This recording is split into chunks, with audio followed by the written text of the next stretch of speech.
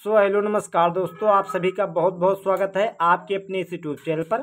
तो दोस्तों, जैसा कि आप देख पा रहे हैं, हमारे पास में है Poco X five five G phone. दोस्तों, इस फ़ोन में आप अगर फाइव जी नेटवर्क का यूज़ करना चाहते हैं तो दोस्तों, कैसे करेंगे?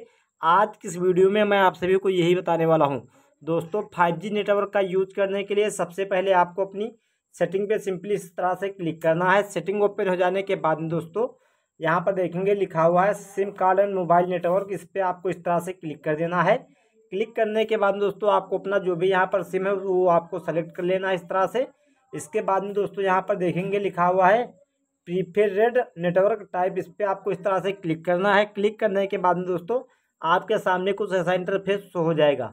दोस्तों आपके फ़ोन में ये टिक यहाँ पे लगी है, दोस्तों आपको ऊपर फाइव जी पे इस तरह से लगा देने हैं। इसके बाद में दोस्तों आपके फ़ोन में यहाँ पर फाइव जी नेटवर्क नेटवर्क पकड़ने लगेगा। दोस्तों, हमारे यहाँ भी फाइव जी नहीं है, इसलिए यहाँ पर फाइव जी नहीं शो कर रहा है। दोस्तों, अगर आपके यहाँ फाइव जी नेटवर्क है तो आपके फ़ोन में यहाँ पर फाइव जी नेटवर्क शो करने लगेगा। दोस्तों, आप भी अपने फ़ोन में इस तरह से फाइव जी नेटवर्क यूज़ कर सकते हैं। दोस्तों, अगर वीडियो पसंद आई हो तो वीडियो को लाइक करें।